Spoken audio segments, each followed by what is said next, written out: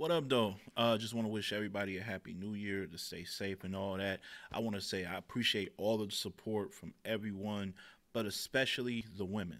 All right.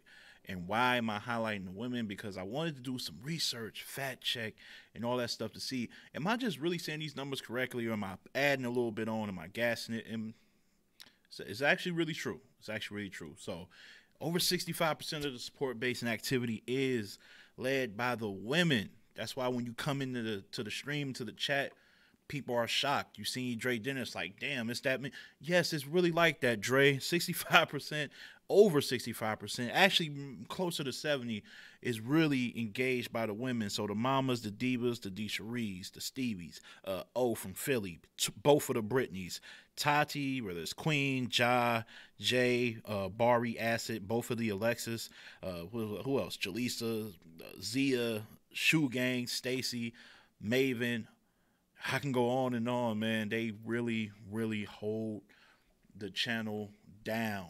I really, really rock with each and every one of you. Uh, you made this uh, such a dope thing to do consistently. Y'all are there damn near every day. Same support, same love. And uh, I got to return it back. You know what I'm saying? I said my job is to work hard every time I stream to let y'all know y'all investing y'all time in the right person. So I'm like trying to make y'all proud of me with each and every stream or interview or show that I do.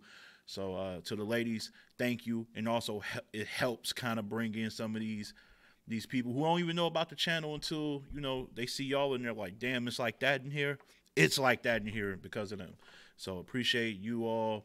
Have a safe holiday, and uh, can't wait to see what's going on in 2022. Keep it battle rap. Peace and love.